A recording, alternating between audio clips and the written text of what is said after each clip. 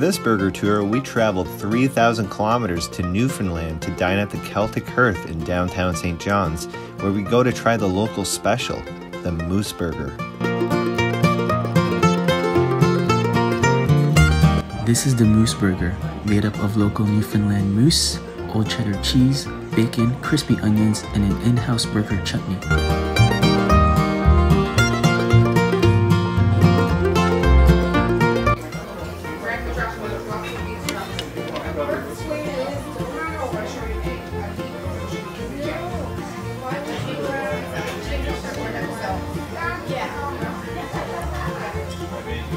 It's thick, but it's very flavorful. It's good.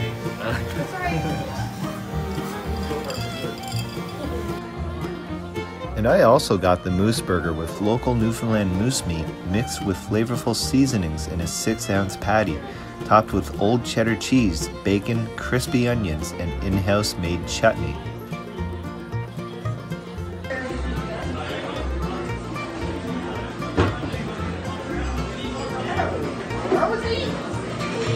Wow. Pretty good.